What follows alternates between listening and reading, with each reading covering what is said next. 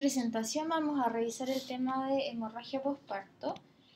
La hemorragia postparto va a ser la causa principal de mortalidad materna en países de ingresos bajos y es la causa primaria de casi un cuarto de todas las eh, muertes maternas en todo el mundo. Y eh, la mayoría de estas muertes en general van a ser provocadas eh, por hemorragias postparto que ocurren durante las primeras 24 horas después del parto, que son las llamadas hemorragia postparto primaria y eh, es importante ya que las posibles complicaciones que se asocian a esta patología son el choque hipovolémico, la coagulación intravascular diseminada, la falla renal, por ejemplo, y fallas multiorgánicas e incluso la muerte materna.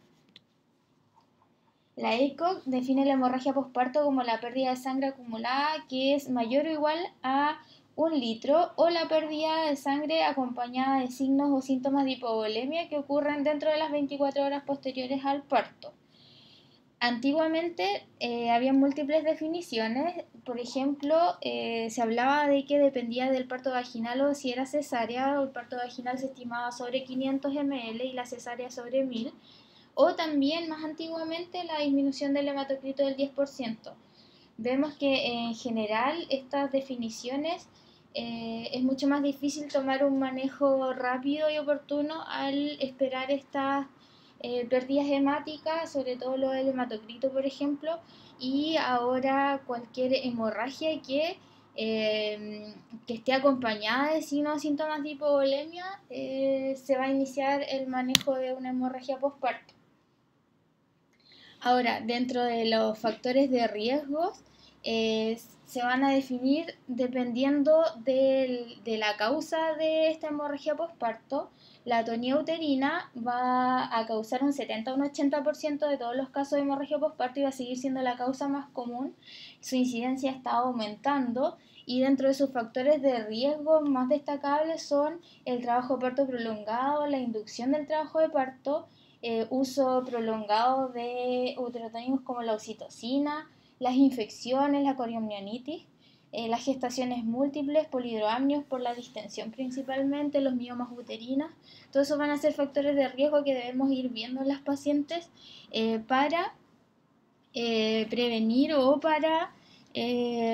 hacer un manejo rápido en el momento en que se presente esta patología.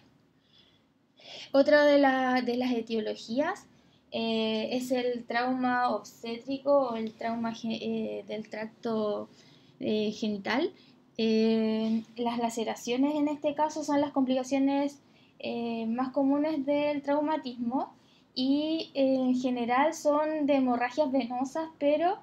pueden ser la fuente principal de la hemorragia postparto. Para esto se debe identificar rápidamente y reparar las laceraciones cervicales, eh, y las laceraciones que son complicadas por hemorragias arteriales y también eh, las que son por eh, laceraciones vaginales altas. también van a haber vulvares o perineales que pueden contribuir de manera significativa a la pérdida de sangre. Y dentro de, obviamente, los, los factores de riesgo son los partos instrumentales o los partos precipitados. Entonces siempre se debe eh, tener una visualización eh, óptima del canal vaginal posparto para identificar estas lesiones. La otra causa más eh, importante son la retención de restos placentarios y se debe realizar para esto una inspección detallada de la placenta en el momento del parto y muchas veces también la, la placenta puede parecer intacta pero eh, pueden quedar algunos productos de la concepción, por ejemplo, eh, los lóbulos subcentoriatos, donde eh, se debe realizar una extracción manual de los restos placentarios y cuando se identifica esto y posteriormente si la extracción manual falla, la hemorragia persiste, se debería hacer un curetaje. Cuando siempre hay que tener ojo cuando el tejido placentario está adherido a la pared uterina, siempre hay que sospechar una placenta creta que no ha sido diagnosticada y obviamente en pacientes que tienen mayores riesgos de tener un acretismo placentario, como por ejemplo los antecedentes de cesárea o instrumentalizaciones de la cavidad uterina. Eh, dentro de de los factores de riesgo de la retención de placenta, como les decía, está la cirugía uterina o el ver una placenta incompleta en el momento del parto o las placentas eh, La última causa que es mucho menos frecuente y obviamente ya es descarte de las otras tres causas es eh, las coagulopatías o anormalidades de la coagulación. Esta puede complicar la hemorragia postparto y siempre en, en obstetricia vamos a tener dos etiologías que son específicas y eh, que se deben considerar aparte como el desprendimiento de placenta y la embolía del líquido amniótico. El desprendimiento de placenta, por su parte, eh, también se va a asociar a atonía uterina y que es secundario a la extravasación de la sangre que queda en el miometrio, formando el útero de Cuvelier, y se va a diseminar al espacio intravascular, eh, perdón, va a provocar una, una coagulación intravascular diseminada y la va a producir una hipofibrinogenemia, hipo, con eh, sus subsecuentes complicaciones. El desprendimiento de placenta en general se va a presentar con sangrado vaginal, contracción uterina, un útero hipertónico, taquicistolía y dolor. Y em, esto, el desprendimiento de placenta va a ser el responsable de hasta un 17% de los casos que van a requerir eh, transfusión masiva. La embolía líquido amniótico, por su parte, es rara y es una emergencia obstétrica y también eh, va a provocar un compromiso hemodinámico respiratorio y también se va a provocar una coagulación intravascular. Eh, va a haber una profunda coagulopatía y también se va a observar una hemorragia postparto debido a esta causa por el consumo de los factores. Ahora, de, esta, de los factores de riesgo de, las anomalías de la coagulación, eh, vamos a tener, por ejemplo, la sepsis, eh, el desprendimiento de placenta, ya lo decíamos, y los ovidos fetales, por ejemplo, etc. Entonces, con esto vamos a tener eh, pues, de forma más fácil que podemos identificar las conocidas 4T, que son los trastornos de la contractilidad uterina o la atonía uterina, em, eh, eh, los, los, problemas del tejido o los restos y adherencias placentarias, los traumatismos del tracto genital y los trastornos de la coagulación, como les decía, en menor medida son los trastornos de la coagulación, hasta un 1%. La mayoría son trastornos eh, por inercia uterina, hasta un 69% y los otros dos causas se dividen entre los restos placentarios y los traumatismos eh, de la, los, traumatismos del tracto genital. Ahora, hay una forma eh, de prevenir en cierta medida la, la hemorragia postparto. Obviamente siempre tenemos que tener en cuenta los factores de riesgo ya mencionados eh, dependiendo de la causa de la hemorragia postparto, eh, pero eh, como sabemos que es una pérdida de sangre que es abundante, se puede realizar un tratamiento anteparto de la anemia materna, con eso vamos a tener una mejor reserva para enfrentar el trabajo de parto, la corrección de la hipovolemia anteparto y el manejo activo del alumbramiento que se se indican retractores uterinos, el clampeo precoz del cordón umbilical, la tracción controlada del cordón umbilical, el masaje uterino manual y el alumbramiento dirigido. Todas estas medidas nos podrían ayudar a evitar, por ejemplo, eh, una retención placentaria, eh, nos podría ayudar a una correcta eh, contracción del útero post el alumbramiento y las dos primeras medidas obviamente con una mayor reserva para la para la paciente en el caso de que tuviera hemorragia postparto. Ahora, el manejo en general va a ser un manejo multidisciplinario y eh, consiste en primero armar el equipo del manejo, eh, siempre debe haber un líder que dirija el resto del equipo, si es que uno está, una persona está sola, siempre pedir ayuda y eh, la primera labor es determinar el sitio de sangrado o las principales causas que hablábamos eh, anteriormente, siempre pensando en la mayor frecuencia, que es por ejemplo la tonía uterina, y, em, y también los factores de riesgo de cada paciente. Para determinar el sitio de sangrado, eh, vamos a hacer una revisión del canal blando, eh, por ejemplo, con las pinzas Fester a, ambos lados del cuello uterino, traccionando, una revisión instrumental de la cavidad uterina, eh, la visualización del cervix completo para descartar desgarros,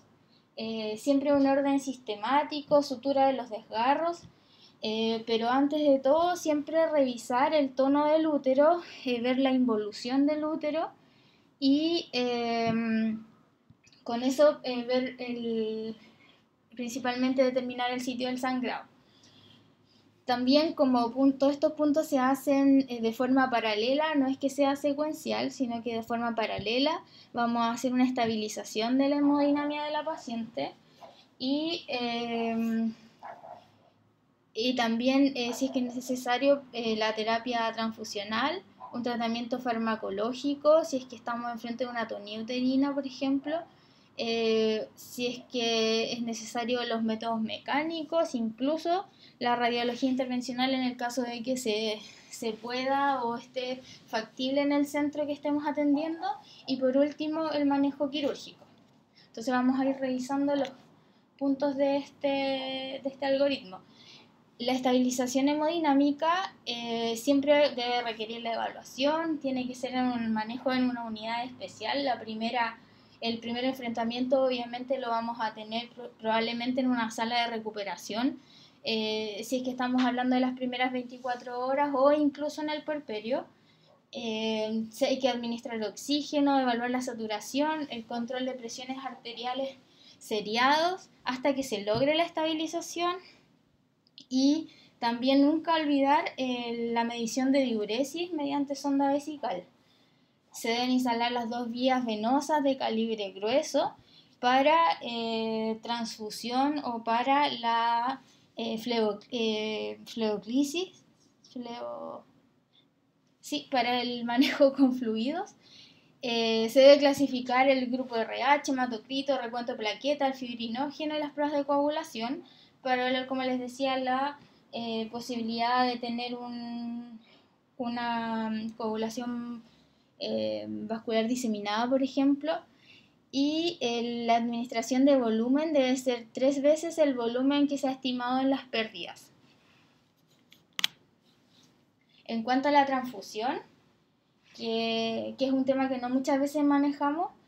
eh, la reanimación temprana que es inadecuada y la hipoperfusión pueden provocar la acidosis láctica, un síndrome de respuesta inflamatoria sistémica que provoca una disfunción multiorgánica y eh, coagulopatía. Por lo tanto, eh, el inicio de la terapia de transfusión generalmente se, se va a basar en el déficit estimado de, pérdidas eh, en cualquier paciente, pero sin embargo en el contexto de una hemorragia postparto, los cambios que eh, son agudos, eh, la hemoglobina o el hematocrito no nos van a servir porque ya son muy tardíos y no, son, no precisan eh, la pérdida de sangre actual. Los signos vitales maternos tampoco van a cambiar drásticamente hasta que se va a producir una pérdida de sangre significativa. Y al tener todas estas complicaciones en general, se debe iniciar un manejo rápido con transfusión, eh, lo que se recomienda es una relación 1-1-1 con plasma, plaquetas y glóbulos rojos. Y em, esto es debido a que eh, una pérdida de sangre que es tan grande va a incluir el agotamiento de los factores de coagulación. es, es, común que desarrollen una patología, una coagulopatía de consumo como la CID, por ejemplo. Entonces van a requerir de estos tres eh, elementos de hemoderivados, no solamente los glóbulos rojos, para evitar la coagulopatía de consumo. En general, en mujeres que han sangrado continuamente y que la pérdida equivale a un litro y medio o más y que tienen signos vitales anormales, sí o sí, la terapia de transfusión eh, debe estar presente. La transfusión masiva, por su parte, eh, se define como una transfusión de 10 unidades o más de un concentrado de glóbulos rojos que se eh, realiza dentro de 24 horas, o la transfusión de 4 unidades de glóbulos rojos en una hora, o el reemplazo de la volemia total de la paciente. Esto es una definición para cualquier tipo de paciente, no solamente en la hemorragia postparto. Eh, y muchas veces estas pacientes llegan a requerir transfusiones masivas. Ahora, dentro de los tratamientos vamos a tener el manejo no quirúrgico y el manejo quirúrgico. Dentro del manejo no quirúrgico vamos a tener el farmacológico, eh, los métodos mecánicos, donde va a incluir el masaje uterino bimanual, por ejemplo, eh, como método inicial de terapéutico y eh, el packing uterino con compresas o con balón. El manejo farmacológico está basado en estas cuatro drogas principalmente. Eh, la oxitocina va a ser nuestro primer paso. Eh, se, se indican dosis entre 10 hasta 40 unidades en 500 a 1000 ml. Y se cree que es mejor la infusión endovenosa que intramuscular, ya que tiene un pic más rápido y produce un pic que la vía intramuscular. Por lo tanto, nos serviría mucho más en el manejo de, la hemorragia postparto sobre todo y también en el manejo activo del alumbramiento, por ejemplo, posterior al alumbramiento. Em, entonces nos, nos va a servir de forma profiláctica y como tratamiento.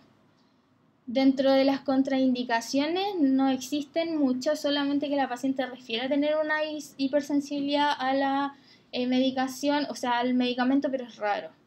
Em, y tampoco tiene muchos efectos adversos. La segunda línea es la metilergonovina eh, o el conocido metergin con dosis intramuscular eh, contraindicaciones importantes, la hipertensión, preeclampsia o, la enfermedad cardiovascular. Eh, puede producir algunos efectos adversos eh, y dentro de los destacables son la hipertensión severa en estas pacientes. va a ser un, este es un fármaco que es un análogo sintético de la ergonovina. Posteriormente, Em, vamos a tener los el misoprostol, por ejemplo, eh, que se dan en dosis entre 600 a 1 gramo y pueden dividirse las dosis en oral, sublingual o rectal. Em, las contraindicaciones también son raras, pero sí tiene algunos efectos adversos como por ejemplo los vómitos o la diarrea. Y el otro medicamento que utilizamos es el duratocin o el carbetocin, que es un análogo de la oxitocina, eh, pero tiene una acción más prolongada que la oxitocina. Eh, se debe pasar de forma lento de 100 microgramos endovenoso. Ahora, la otra fase, eh, además de estar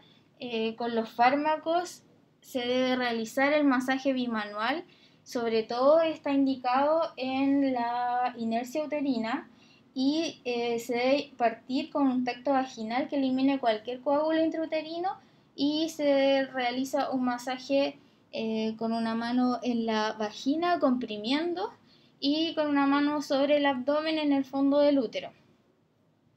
Asociado al manejo con útero tónico, y en caso de, por ejemplo, atonía refractaria, se deben usar los otros métodos como el taponamiento eh, con balón o con compresas, que vamos a ver acá.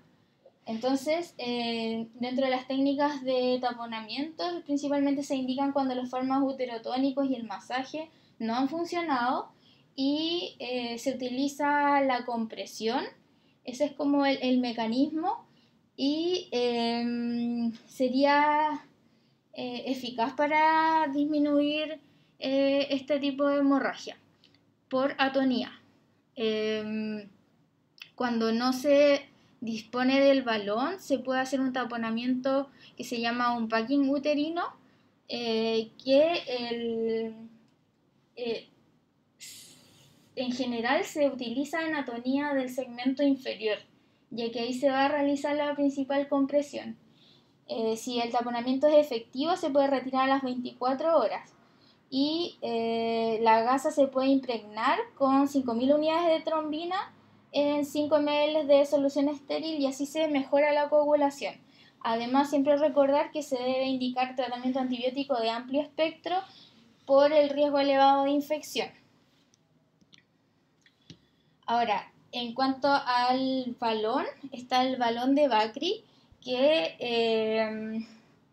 este es un,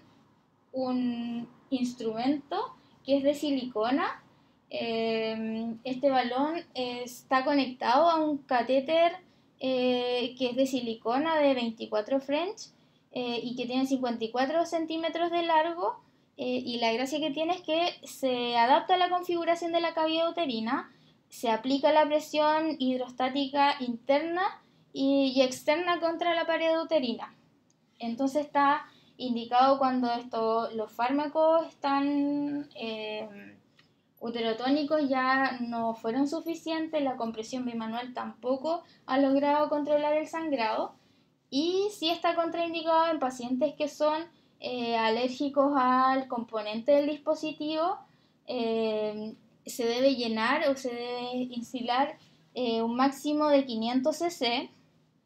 se debe mantener entre 2 y 24 horas y la prueba de taponamiento es ver si es que sigue refluyendo eh, la sangre por un conducto que tiene eh, aparte. Eh, las tasas de éxito son dependiendo si es que son en cesárea o en parto. En cesárea se escribe entre un 20 y un 65% y en los partos vaginales entre un 85 y un 100%. También está escrito en el caso de que no tengamos acceso a un balón de Bacri, Em, la instalación de una sonda Foley eh, y el globo de la sonda Foley, perdón, y el, en la sonda Foley se, se une un, un, dispositivo que puede ser, por ejemplo, un condón que se que en el, a través de la sonda Foley se instila el agua y se llena y eso provocaría la presión eh, para comprimir el sangrado del útero. Y em, dentro del tratamiento quirúrgico vamos a tener el conservador y el no conservador.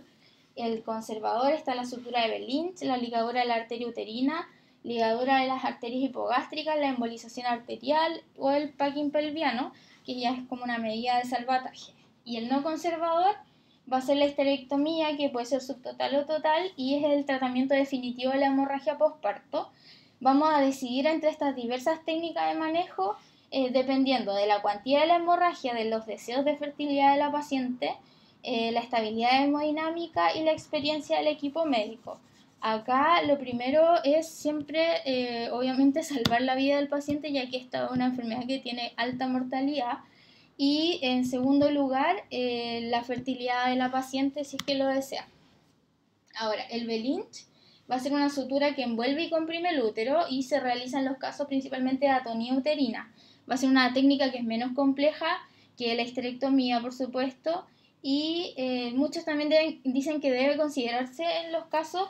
en todos los casos, antes de realizar la histerectomía. Y vamos a tener el Belinch clásico, que es con el útero abierto, y también los modificados, que es primero cerrar la histerectomía y posteriormente hacer el Belinch. La ligadura de la arteria uterina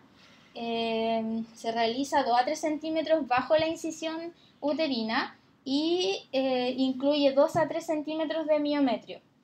Esta ligadura se ha reportado con tasas de éxito hasta un 90% y es útil en hemorragias moderadas em, que están en el segmento inferior. Por otra parte, la ligadura de la arteria hipogástrica eh, Recordar que la hipogástrica es el principal suministro de sangre al útero y a la pelvis en general. Esta debe ser bilateral y eh, se requiere principalmente experiencia y habilidad eh, del operador, ya que eh, aumentaría el tiempo total para parar la hemorragia eh, si es que el operador no es, está calificado para hacer esta ligadura, aumentando la mortalidad de la paciente obviamente. Ahora, la embolización eh, de la arteria uterina, que se describe también como un método eh, quirúrgico reversible, en general son pacientes que están hemodinámicamente estables, que es un sangrado constante, permanente, pero eh, que no, no, es abundante, por lo tanto la paciente aún sigue hemodinámicamente estable, vamos a tener tiempo de hacer la embolización. el beneficio es que la mujer puede conservar la fertilidad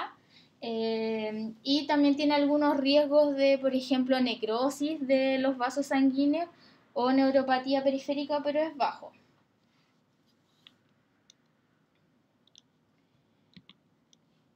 Em, ahora los resultados que se describen, mm, dependiendo de dónde se lea, pero en general el taponamiento con balón es acerca de un 85%, 84%, dependiendo, sabíamos si es que era por cesárea o por parto, la ligadura de las arterias, eh, un 85%, la embolización un 91%, las suturas compresivas, que es el packing, un 92%. Eh, sin embargo, es importante lo que hablábamos de que depende mucho de la experiencia del operador que lo va a lograr para disminuir los tiempos. Y por último, eh, la histerectomía es la obstétrica, la indicación de urgencia más frecuente va a ser la hemorragia postparto. Las tres razones son la atonía, la placentación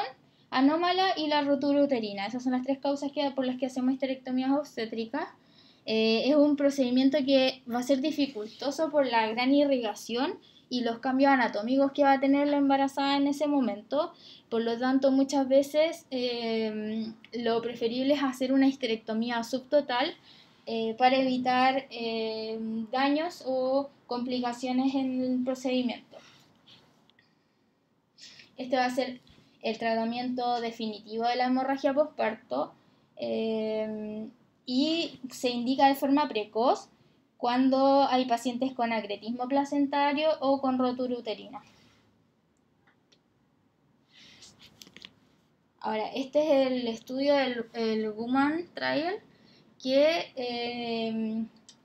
el ácido tranexámico es un agente antifibrinolítico y que se puede administrar por vía endovenosa u oral. Y este ensayo comparó eh, un gramo de ácido tranexámico endovenoso con el placebo en el contexto de la hemorragia postparto. Entonces el ensayo tenía el objetivo de determinar el efecto de la administración temprana de este eh, eh, antifirinolítico sobre la mortalidad, sobre la histerectomía y otras morbilidades, por ejemplo, intervenciones quirúrgicas, transfusiones, etcétera, en mujeres con hemorragia postparto que se diagnosticaron clínicamente. y lo que demostró fue una reducción significativa de la mortalidad en el subgrupo de pacientes con muerte por hemorragia obstétrica de 1.5 a un 1.9%. Y por lo tanto, la, la EICO em, realizó un checklist para el manejo de la hemorragia postparto, donde en uno de los pasos también ya se incluye como, eh, como parte del manejo estandarizado. Entonces acá ya vamos a tener una paciente que eh, se diagnosticó de la hemorragia postparto, eh, vamos a iniciar el manejo con fluidos, eh, vamos a iniciar con los uterotónicos, vamos a pedir al banco de sangre las unidades y vamos a ver de manera clínica, determinar la etiología y el lugar de sangrado de esta paciente, siempre pensando en los 4T eh, los fármacos que se indican están la oxitocina, el metergin, el, el carbetocin y el misoprostol. En el estadio 2 es cuando ya se han utilizado dos uterotónicos y hay un sangrado mayor a 1500 o hay un sangrado mayor a 1500 cc, em, donde ya vamos a empezar a pedir eh, fibrinógeno, por ejemplo, vamos a hacer un, un manejo un poquito más especializado. Acá se va a considerar el ácido tranexámico, eh, que es un gramo en 10 minutos y eh, se puede repetir también eh, después de 30 minutos. Em, las unidades del banco de sangre em, y considerar las medidas mecánicas, por ejemplo, el balón, el packing, o también ya tener en mente las intervenciones quirúrgicas. Em, también hay que ir escalando la terapia dependiendo de lo que hablábamos recientemente hasta llegar finalmente al tratamiento definitivo que es la histerectomía en caso necesario. El último punto es la hemorragia postparto secundaria. Esta va a ocurrir entre las 24 horas después del parto y las 6 semanas postparto. Tiene un pic entre la primera y la segunda semana postparto. Eh, las causas principales son la retención de restos placentarios, la subinvolución del lecho placentario, la endometritis y otras como por ejemplo eh, los pacientes que tienen, se, diagnostican de coriocarcinoma, por ejemplo, o malformaciones arteriovenosas, etc.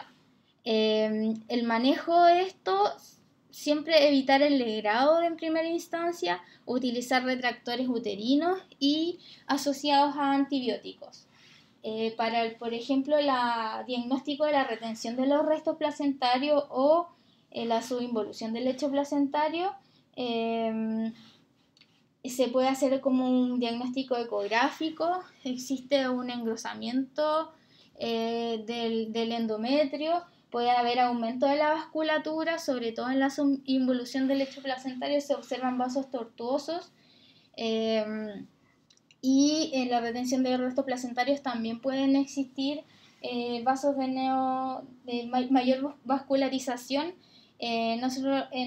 yendo hacia el, desde el endometrio hacia el miometrio. A modo de conclusión, eh, todas las instalaciones de atención obstétrica deberíamos tener pautas para el manejo estandarizado de la hemorragia postparto, siempre utilizar un enfoque multidisciplinario eh, siempre mantener la estabilidad hemodinámica y en forma paralela identificar y tratar eh, esta causa de la hemorragia postparto y siempre eh, iniciar con métodos no invasivos, un manejo escalonado y ir avanzando hasta intervenciones más agresivas. Por último, la histerectomía en caso de que se requiera salvar la vida de la paciente.